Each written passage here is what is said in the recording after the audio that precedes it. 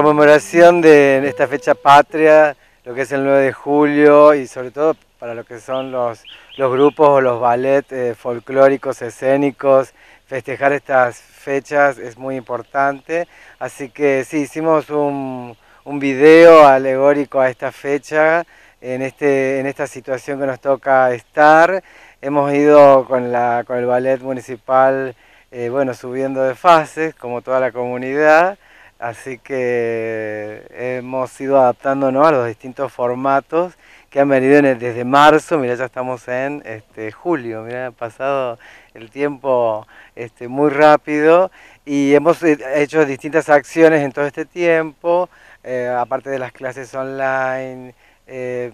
vivos, reuniones en Zoom, bueno y a partir de la fase 5 que autorizó nuestro intendente municipal, este, pudieron volver todos los trabajadores del ballet, todos los empleados bailarines del ballet municipal a su, a su entrenamiento, que es algo muy importante para, para el que está eh, trabajando con su físico, este, poderse entrenar, en fin, así que con todas esas este, situaciones eh, y eh, teniéndolas en cuenta y de acuerdo a los protocolos, este, empezaron a comenzar a, entrenar en, su propia sede del ballet, en el espacio multicultural.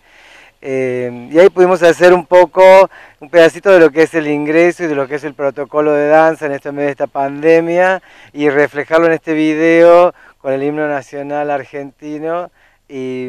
y poner un poco en escena lo que es este, en estos tiempos de pandemia el ballet de la costa.